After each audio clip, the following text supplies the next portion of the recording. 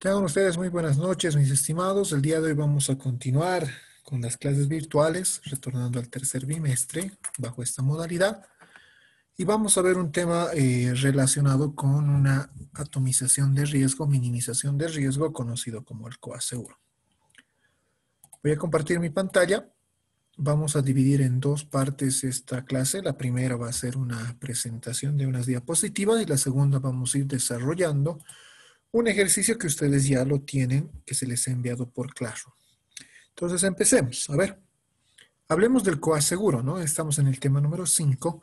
Cuando hablamos del coaseguro, decimos que el coaseguro es una técnica de distribución de riesgo asumido por una parte de la entidad aseguradora.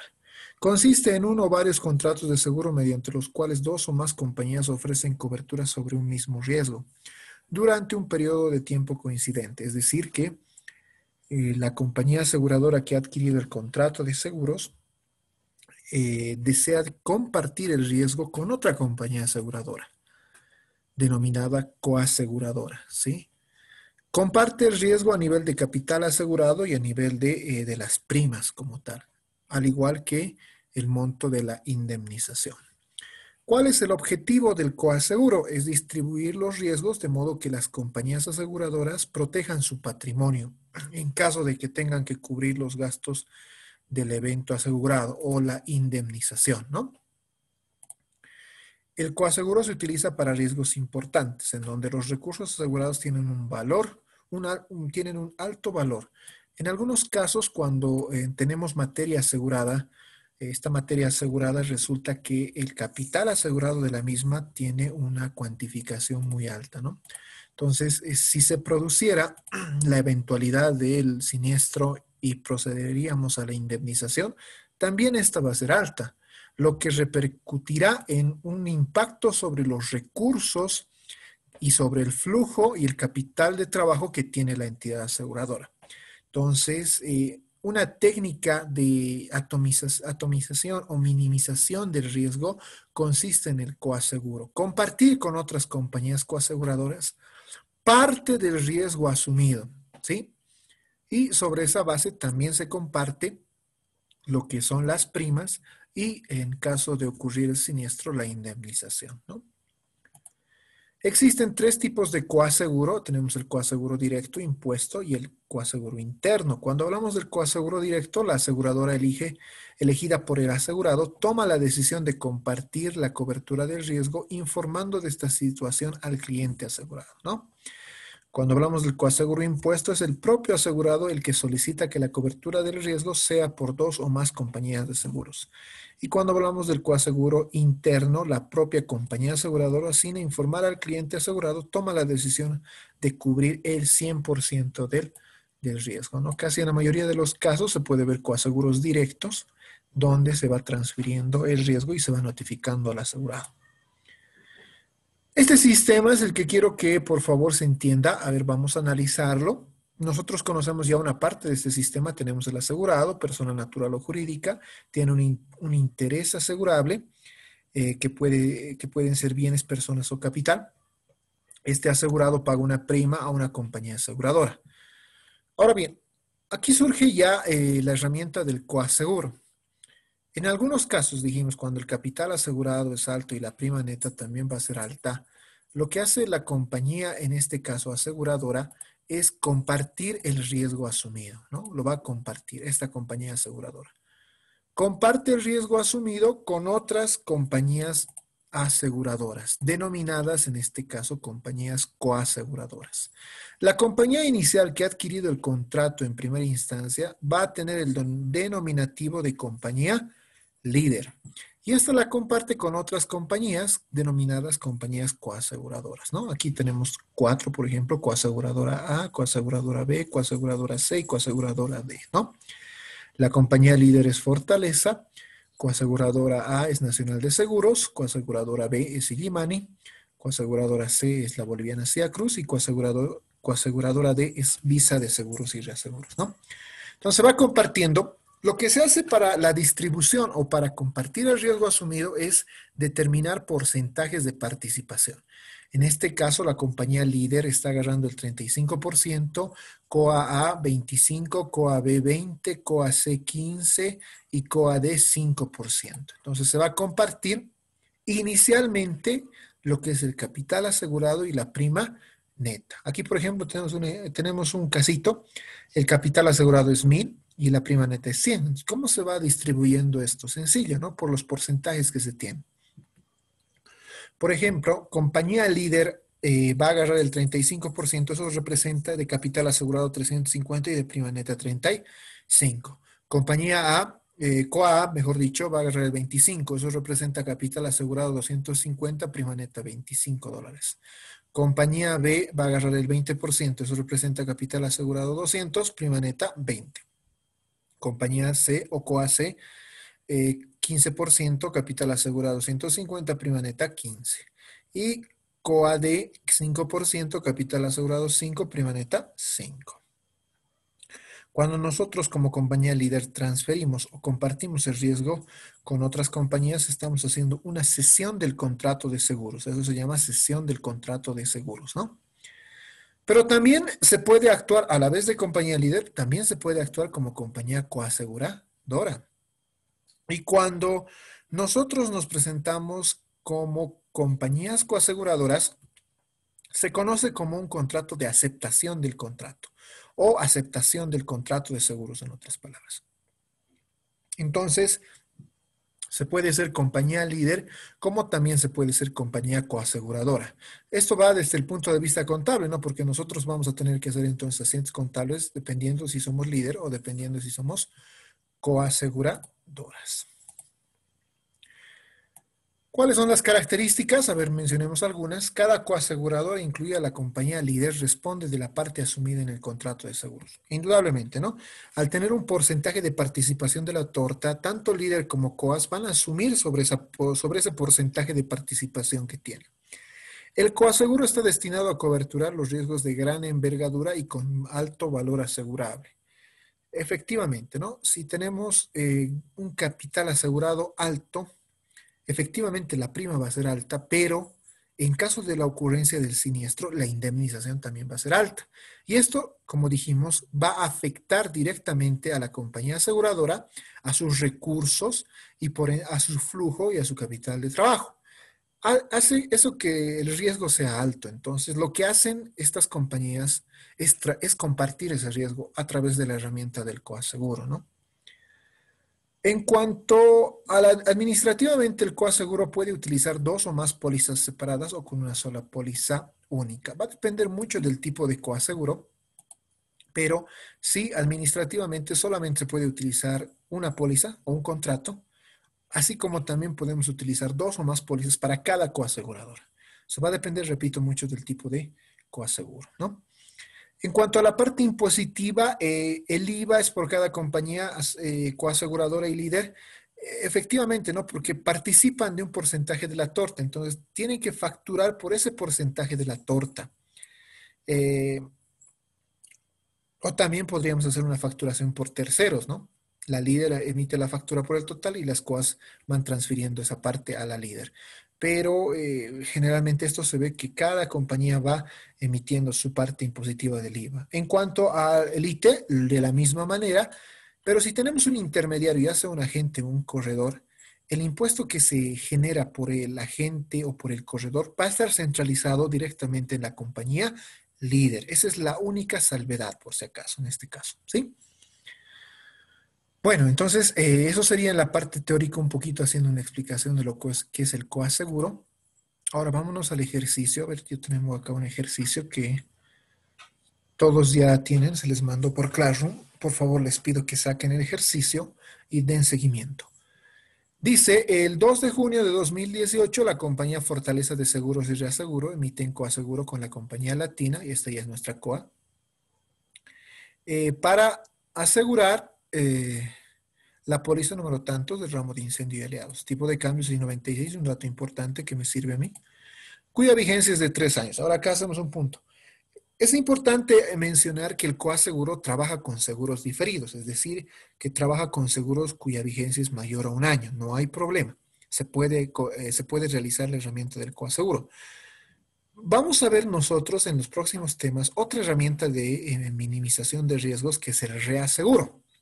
Y una diferencia sustancial entre el reaseguro y el coaseguro es que el reaseguro, por ejemplo, solamente trabaja con seguros de tipo anual, no trabaja con seguros diferidos. Y si tiene contratos cuya vigencia son mayores a un año, los va prorrateando anualmente, es decir, que va trabajando con ellos anualmente, a diferencia del coaseguro. El coaseguro tranquilamente trabaja con eh, seguros diferidos, en este caso, con eh, contratos cuya vigencia es mayor a un año. Esa es una de las diferencias sustanciales entre COA y reaseguro, ¿no? La compañía líder, eh, volvamos al ejercicio, la compañía líder cobra el 100% de las primas y las remite al coasegurador bajo el siguiente detalle. Ahí tenemos el capital asegurado, 9.470.000. Eh, tenemos la materia asegurada, edificio, grupo de bienes raíces, tasa 4.69 por mil, un intermediario, el señor Jorge León, comisión del 12%. Eso es lo que me interesa, la distribución, ¿no? Compañía Fortaleza, que es la líder, agarra el 70%, coaseguradora agarra el 30%. ¿Qué nos piden? Liquidación de cobranza, cuadro de distribución del coaseguro, asientos contables de la compañía líder, asientos contables de la compañía coaseguradora. Como les decía, ¿no? Podemos hacer los asientos desde el punto de vista de la líder, como también desde el punto de vista de la coaseguradora. Si bajamos un poquito, ya tenemos resuelto la liquidación de cobranza inicial, ¿no? Tenemos la cobertura, incendio y aliados, eh, la materia asegurada, edificios, el capital asegurado, la tasa, esto ya lo vimos en el segundo bimestre. Ustedes ya saben calcular tasas por mil o tasas por cien. Tenemos la prima en dólares en bolivianos, calculamos la prima neta anual por un año, la diferimos por tres, ¿sí? Calculamos las primas adicionales, el, el costo de producción del servicio, el impuesto al valor agregado y la prima comercial. Si nosotros hacemos la prueba, podemos hacerlo, ¿no? Prima neta diferida, 133.242.90 por 1.25 me va a dar 166.553.63. Este, e, e, este cuadrito, esta liquidación, mejor dicho, es fundamental para desarrollar los siguientes cuadros. Esto nosotros, repito, ya lo conocemos, ya sabemos hacerlo, ¿no? Entonces ahora nos vamos a ir a el siguiente cuadro es el cuadro de distribución del coaseguro. Acá yo ya lo tengo. Les voy a explicar detenidamente cómo se llena este cuadrito. En función a la liquidación de cobranza y a partir de la prima neta diferida, yo voy a ir copiando en una columna denominada detalle todos los componentes de la liquidación de cobranza, es decir, prima neta, primas adicionales, eh, dentro de las primas adicionales, gastos administrativos, provisión IT, aporte, total primas adicionales, costo de producción, IVA y prima comercial. Y voy a ir copiando en una columna denominada prima todos los importes que hemos calculado en dólares. Lo voy a marcar de un color amarillo. Acá está. Y luego voy a agarrar y voy a crear cuatro columnitas. Las primeras, las primeras dos para la compañía líder y las segundas para la compañía coaseguradora. Esto va a estar en función dependiendo de cuántas coaseguradoras tenemos. Pero inicialmente, según este caso, tenemos solamente una coaseguradora. La líder tiene el 70%, la COA tiene el 30%. Y lo que vamos a ir haciendo es un simple prorrateo porcentual y vamos a ir calculando de todo lo que esté en amarillo inicialmente el 70%, es decir, de 133.242, el 70%, eso me da 93.270, de 3.997 el 70%, 2.798, de 4.996 el 70%, 3.497 y así sucesivamente vamos a ir calculando todos estos montos. Para tener la columna en bolivianos de la líder, multiplicamos por el tipo de cambio, ¿sí? Eh, por ejemplo, 93.270.03 por 6.96 y vamos obteniendo los montos en bolivianos y así sucesivamente en toda la liquidación. Luego nos vamos a la compañía coaseguradora, que en este caso es Latina, que vamos a tener el, el 30% según nuestra distribución de la torta. Calculamos de 133.242.90 el 30% vamos calculando eh, los otros montos de lo que está en amarillo, el 30%. Y posteriormente multiplicamos por el tipo de cambio y tenemos el monto en bolivianos. Si ustedes notan, esto es solamente una distribución de manera porcentual. Posteriormente voy a tener dos columnas para el total, total en dólares y total en bolivianos. Lo único que vamos a hacer es totalizar la columna dólares y bolivianos de la líder y de la coaseguradora en este caso, ¿no? Es decir, para el primer caso, 93.270 más 39.972 me da 133.242 en dólares. Y en boliviano, 649.159 más 278.211 me da 927.370. Y así sucesivamente vamos a ir llenando cada una de estas, cada uno de estos datos, ¿no? Y el Excel es una maravilla, rápidamente ya me calcula todos esos montos. Y listo. Esta es la primera parte de nuestro cuadro de distribución del coaseguro. Vámonos a una segunda parte. Al igual que eh, las primas, tenemos un intermediario en este caso, que es el agente, ¿sí? En el caso del agente, nosotros antes hacíamos nuestro cuadrito en forma eh, horizontal, ahora lo vamos a convertir a, de manera vertical. Voy a tener una columna para eh, la comisión bruta, otra para el RSI IVA, otra para la comisión neta y otra para la comisión diferida. Y voy a hacer un total. Para la comisión bruta, lo que voy a hacer es lo siguiente. Voy a agarrar eh, la prima neta diferida, los 133.242, lo voy a dividir entre los años de vigencia que tiene la póliza, que es 3, y voy a multiplicar por su comisión, que según el ejercicio es del 12%, es decir, por 0.12. Y eso me da 5.329.72. Para el RSI IVA, lo que voy a hacer es eh, sacar el RSI IVA de la comisión bruta, es decir, 13% de 5.329. Eso me da 692,86. Para la comisión neta, no olvidemos que la comisión neta es comisión bruta menos RSI IVA, 5.329 menos 692 me da 4.636. Y la comisión diferida va a ser igual a la prima neta diferida, los 133.242, dividido entre los años de vigencia, que es 3, y multiplicado por el periodo a diferir, que es 2, ¿no? Que en este caso me da 10.659.43. O también puedo hacerlo obteniendo esta comisión bruta multiplicando por el periodo a diferir. Como son 3, ¿cuánto es el periodo a diferir? 2, ¿no? Entonces multiplicamos por 2 y eso me da 10.659. El total va a ser igual a la comisión bruta más la comisión diferida. Y eso me da 15.989.15. ¿no? Una vez obtenido estos datos, que lo voy a marcar igual de color amarillo, procedemos también a hacer la distribución del 70 y del 30% respectivamente, tanto para la líder como para la COA, ¿no? Y vamos multiplicando por los tipos de cambio. Al final, las últimas dos columnas las totalizo igual que el cuadro anterior. Dólares y bolivianos, ¿no? Ahí está. Vamos, vamos calculando. Y listo. Este es el cuadro que nos va a permitir a, mí, a nosotros eh, hacer los registros y el análisis contable que lo vamos a ver en un momento, ¿sí? Pero esto es fundamental. Si nosotros nos equivocamos o hacemos un mal cálculo porcentual, eh, obviamente que los asientos van a repercutir y van a tener su incidencia errónea, ¿no? Así que les pido por favor que tengan mucho cuidado en el, en el movimiento y en el, eh, en el registro que se tiene de estos, de estos montos. Si alguien tiene alguna pregunta hasta ahí, por favor, hágamela conocer antes de entrar a los asientos contables.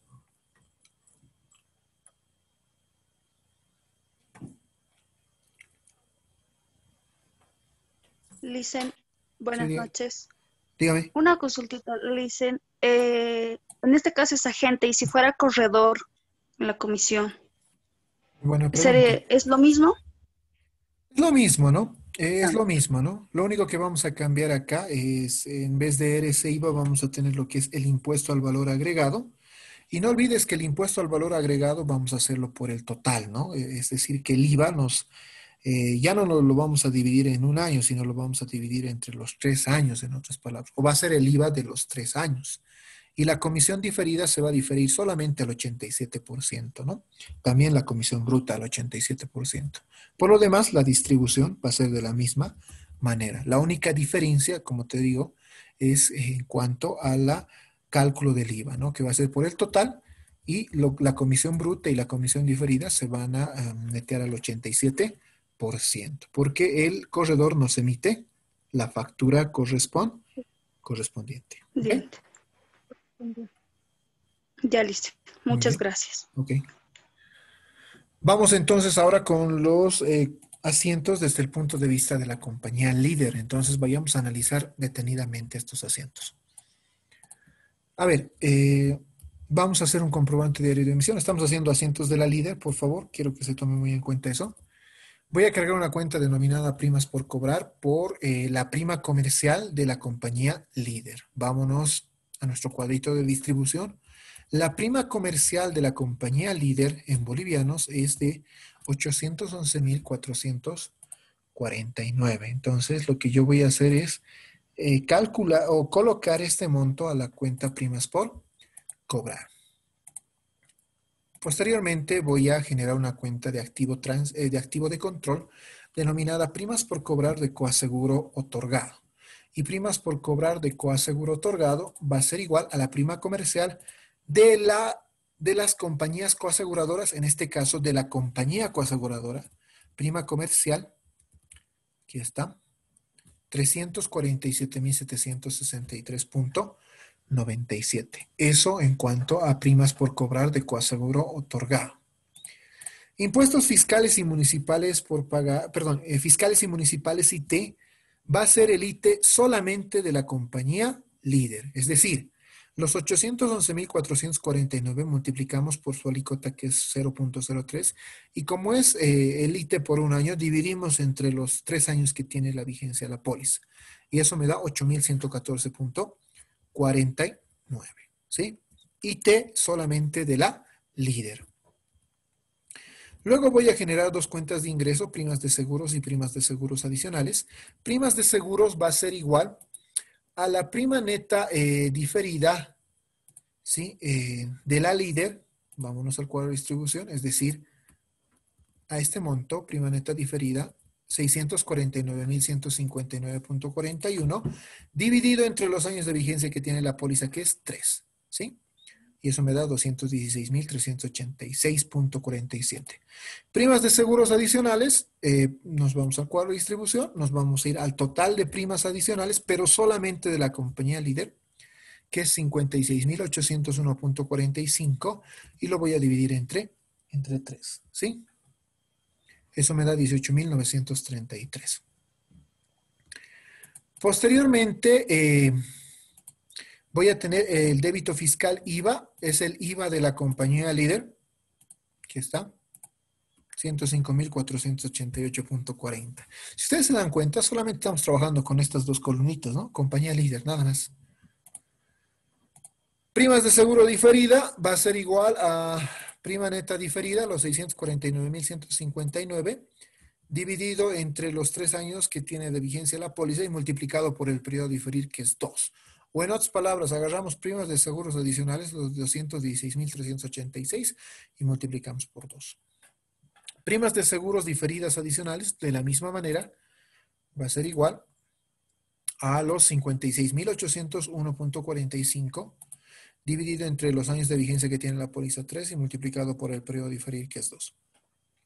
O en otras palabras, agarramos estos 18.933 y lo multiplicamos por 2, ¿no? Impuestos fiscales y municipales por pagar IT va a ser el IT de la líder, eso ya como contracuenta. Y vamos a generar una cuenta de pasivo denominada primas por cobrar de coaseguro otorgado, que es la misma pero de naturaleza de pasivo eh, que tenemos acá, ¿no? En el clasificador se maneja tanto en activo como en pasivo primas por cobrar. Y alguien dirá, pero ¿por qué por cobrar en pasivo? Está así en el clasificador de cuentas que tiene la APC. Como es una cuenta de control para el manejo de las primas, en este caso primas comerciales de las coaseguradoras, tiene naturaleza de activo y pasivo a la vez. Si ustedes se dan cuenta, a ver, analicemos este asiento, es un seguro diferido. Si nosotros borramos lo que es eh, primas por cobrar de coaseguro otorgado, estamos hablando de un seguro diferido, pero solamente de la compañía líder. Y lo que hace la compañía líder es controlar las primas comerciales en esta cuenta de activo, primas por cobrar de coaseguro otorgado, y en esta cuenta de pasivo, para fines de control. Este sería nuestro primer asiento. Luego, Voy a hacer un segundo asiento de ajuste por el monto que paga el asegurado. Si nosotros vemos el ejercicio, nos dice A ver, veamos el ejercicio. En la primera parte nos dice que eh, la compañía líder cobra el 100% de las primas. Es decir, que se está cobrando el 100%. ¿Cuánto me debería mí aseguradora? Por un lado, 811.449, que es lo que le corresponde a la líder, y por otro lado, 347.763, que, es que es lo que le corresponde a la coaseguradora. Entonces, lo que yo hago acá es ajustar. Como me está pagando el 100%, lo que voy a hacer es, eh, como está controlado acá en activo y pasivo, a, revierto, revierto el pasivo contra el activo, es decir, el, el pasivo lo llevo al debe, primas por cobrar de coaseguro otorgado, y el activo lo llevo al haber. Con el objetivo de que, si ustedes analizan, esas, esas cuentas se han cerrado en este ajuste, ¿no? Pero ojo, este asiento es por el monto que paga el asegurado.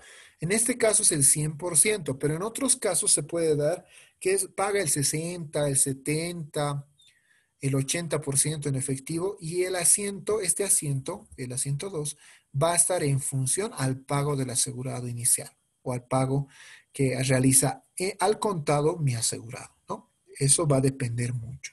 Y el ajuste también va a estar en función a eso.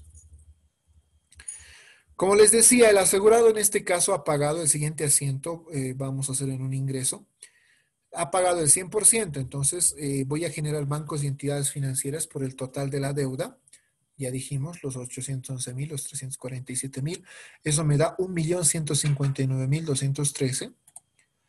Voy a cerrar, en este caso, primas por cobrar, lo que le corresponde a la líder. Y voy a generar un pasivo denominado compañías coaseguradoras de coaseguro otorgado por el monto que le corresponde a la coaseguradora o a la, transferencia que le voy a hacer a la coaseguradora va a ser por este pasivo, ¿no? Cuando yo haga la transferencia a la coaseguradora, voy a tener que hacer un comprobante de ingreso. ¿Y cómo va a ser el asiento? Va a ser dar de baja este pasivo, compañía coaseguradora de coaseguro otorgado, contra bancos y entidades financieras, en este caso por el monto que le corresponde a la coaseguradora o a las coaseguradoras cuando tengamos el caso, ¿no? Y listo, eso sería la secuencia de las primas. Y alguien se preguntará, pero ¿por qué tantos ajustes? Es por el control que tenemos que tener tanto en el devengado como en el pagado, en el pago de las primas de las coaseguradoras. Vamos con el siguiente asiento que es el agente. Para esto eh, voy a generar en un comprobante diario de emisión comisión agente de seguros una cuenta de gasto. A ver, va a ser igual, vámonos a nuestro cuadro de distribución, bajamos a la segunda parte. Vamos a trabajar siempre con el cuadrito o con las columnitas de la líder inicialmente. Va a ser igual a la comisión bruta de la líder en bolivianos. Comisión bruta diferida intermediarios, voy a cargar una cuenta de activo diferido, 51.932. Va a ser igual a la comisión diferida de la compañía líder Luego voy a generar una cuenta de activo de control, compañías coaseguradoras, coaseguro otorgado, 33.385. Y esto va a ser igual al valor de la, de la comisión bruta más la comisión diferida, pero de la compañía coaseguradora o de las compañías coaseguradoras. Comisión bruta más eh, comisión diferida. ¿Qué voy a abonar? Un pasivo, comisión por pagar intermediarios. Como les decía, la líder es la que centraliza eh, la comisión del intermediario, en este caso 32.212. Vamos a hacer con otro color, este. Va a ser igual y nos vamos a, a la comisión neta. Aquí está, comisión neta, 32.272.50 Comisión neta de la compañía líder más la compañía coaseguradora, ¿no? A comisión por pagar intermediarios. La suma de los dos. Impuestos fiscales y municipales por pagar RC IVA, 4.822. Nos vamos al cuadrito. Va a ser el RC IVA de la compañía líder y de la compañía coaseguradora, ¿no? 4.822.33.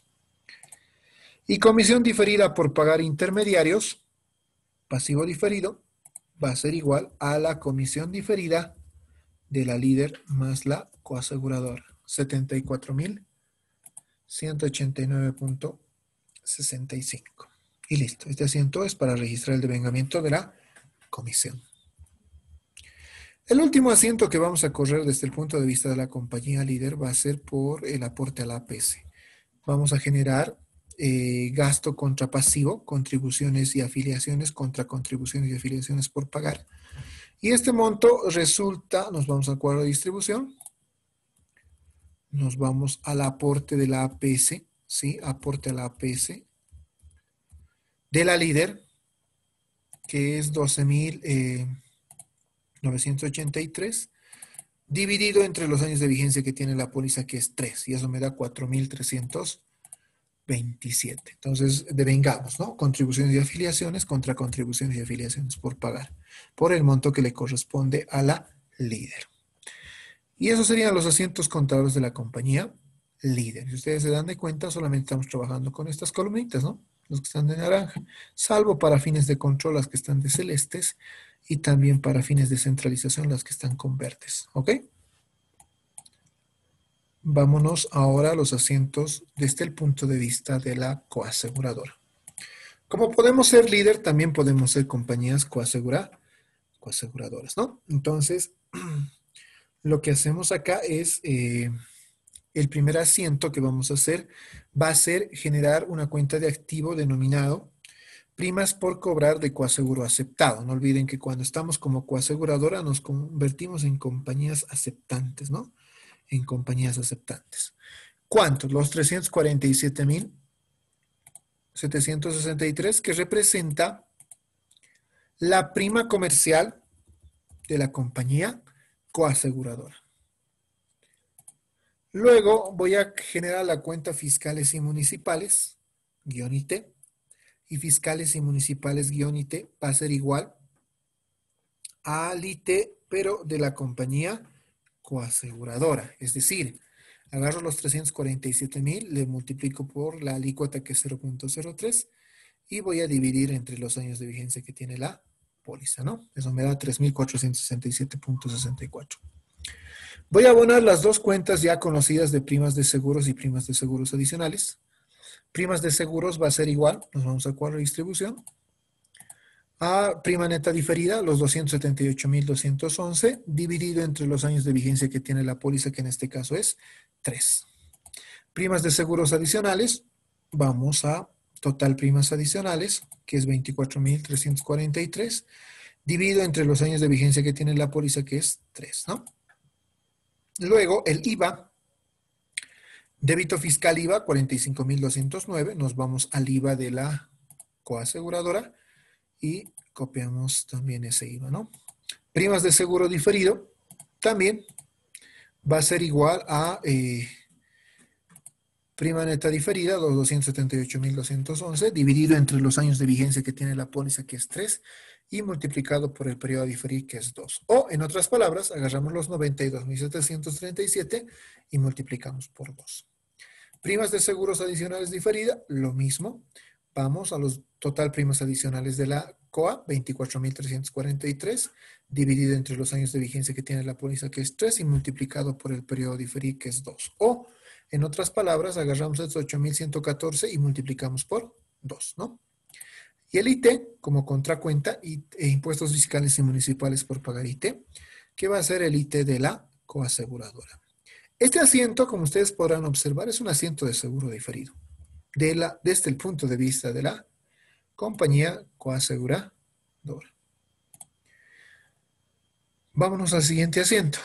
Tenemos que hacer igual ajustes, ¿no? Como mi asegurado está pagando el 100%, lo que yo voy a hacer acá es eh, generar una cuenta de activo y cerrar la cuenta de pasivo que la he hecho en el primer asiento, esta. La cuenta de activo va a ser, se denomina compañías coaseguradoras de coaseguro aceptado. Por los 347.763.97. Y voy a cerrar la cuenta de primas por cobrar de coaseguro aceptado. Esto es, este asiento sirve para registrar el monto que eh, efectivamente va a pagar mi asegurado. Si ustedes quieren, efectivamente está pagando mi asegurado al contado inicialmente, ¿no? Entonces hacemos, corremos este asiento. Posteriormente, cuando la compañía líder haga la transferencia del efectivo a nuestras cuentas como coaseguradora, lo que yo voy a correr es un asiento de activo bancos y entidades financieras por los 347.763 y voy a dar de baja este activo que he generado por 347.763. Repito, estos dos asientos van a estar en función al monto que paga mi asegurado, ¿sí? Va a estar en función al monto que paga mi asegurado. Para el caso de la gente, eh, ya dijimos que la líder es la que centraliza esta comisión, pero nosotros como coaseguradoras lo que vamos a hacer es eh, hacer un asiento de control. Voy a generar el gasto, comisión agente de seguros, 11.128. Vamos al cuadro. Eso representa la comisión bruta de la compañía coaseguradora. Voy a generar la eh, comisión bruta diferida de intermediarios por 22.256. Eso representa la comisión diferida de la compañía coaseguradora. Y todo esto lo voy a eh, registrar contra un pasivo de control denominado compañías coaseguradoras coaseguro aceptado por 33.385.34. No olviden que esto representa eh, la comisión bruta más la comisión diferida de la compañía coaseguradora. Y ese es el asiento que corremos, nada más.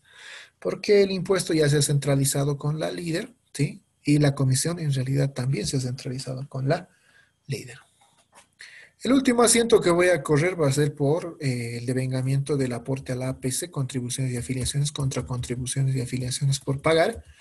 Esto está en relación al, al aporte a la APS. Vámonos al aporte, aquí está. A la APS, que es 5.564.22. ¿Qué hago? Para tener el monto anual dividido entre tres, entre los años de vigencia que tiene la póliza, y eso me da 1854.74. Entonces, devengo, ¿no? Gasto contra pasivo, contribuciones y afiliaciones contra contribuciones y afiliaciones por pagar por los 1854. Y listo. Esos serían los asientos contables desde el punto de vista de la coaseguradora. Bueno, serían todos los asientos, este sería el ejercicio en realidad. Si alguien tiene alguna pregunta, jóvenes, este es el momento.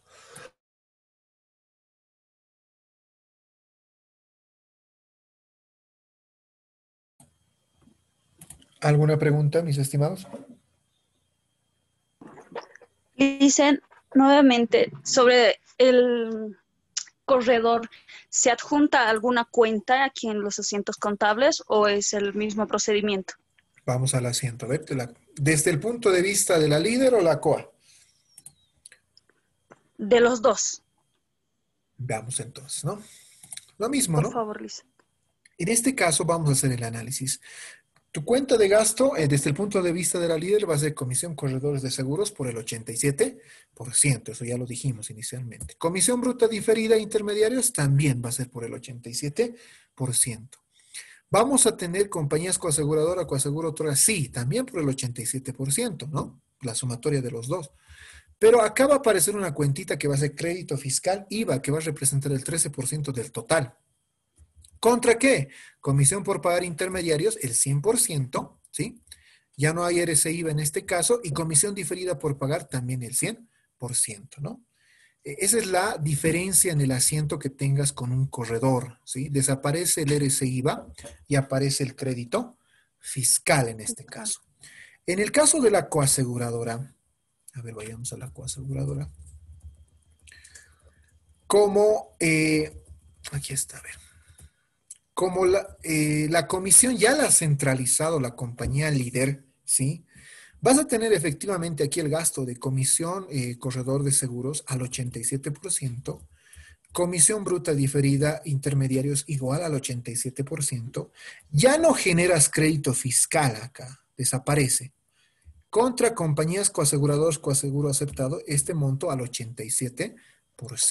¿Por qué? Porque la factura ya lo ha centralizado ¿quién? La compañía líder. Y la compañía coaseguradora solamente está haciendo control del 87% de la comisión bruta y de la comisión diferida para fines de control de gasto en su estado de resultados. Porque la factura, repito, ya la ha centralizado la compañía líder.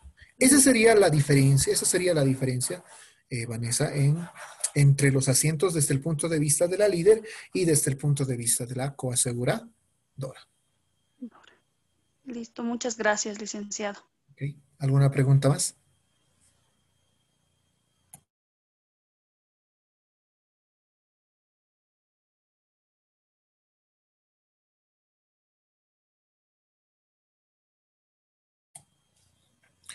Bueno, no hay más preguntas. Eh, eso sería todo por el día de hoy, mis estimados. Eh, nos vamos a encontrar en una próxima oportunidad. Vamos a, les voy a dejar un ejercicio para que vayamos practicando y estén atentos a los anuncios que vayamos a tener de los trabajos y las prácticas también. ¿sí? Bueno, no hay más preguntas, sería todo por el día de hoy. Espero que todos hayan puesto su nombre en el chat para fines de control. Nos encontramos hasta una próxima oportunidad. Cuídense bastante. Un abrazo virtual a la distancia. Hasta luego, jóvenes. Gracias, Lice. Hasta luego, Lice.